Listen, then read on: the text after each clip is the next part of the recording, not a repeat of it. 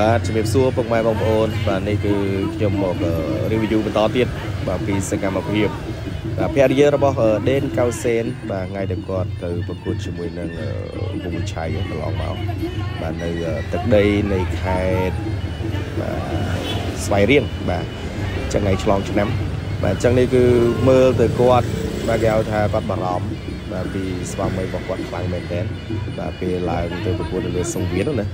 បាទស្វាមីអ្នកប្រកួតនៅលើសង្វៀនតែភរិយានៅខាងក្រៅមើលទឹកមុខកន្លែងនេះបងប្អូនគឺគាត់ភ័យបាទពេលដែលគេវាយស្វាមីណា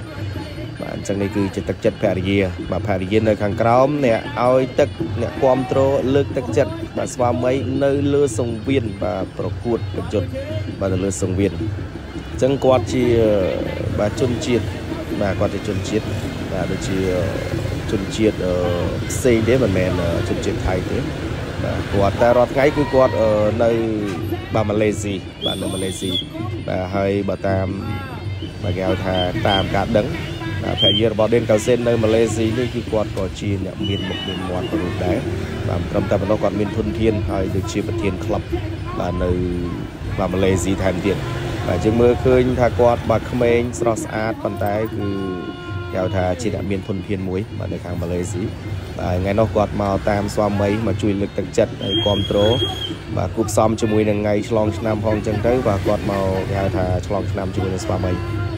បាទអញ្ចឹងឯនោះទឹកមុខរបស់គាត់គាត់ភ័យខ្លាំងគាត់ភ័យខ្លាំងតែទៅពេលគេ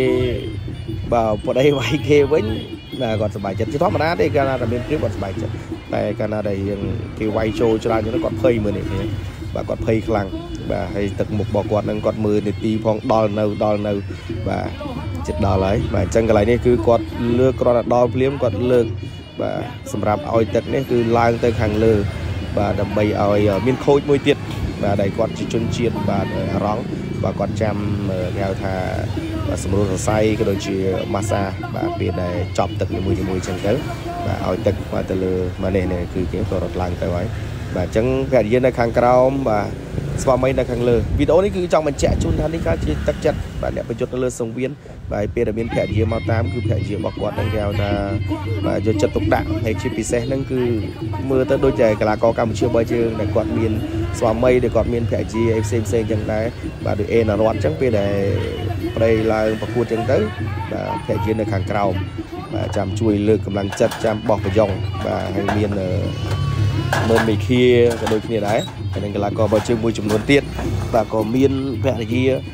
បាទទៅតាមដូចគ្នាអញ្ចឹងដែរបាទអញ្ចឹងនេះជាទឹកចិត្តភរិយាពេលដែលស្វាមីឡើងប្រកួតអូខេអរគុណច្រើនបាទបងប្អូនអរគុណ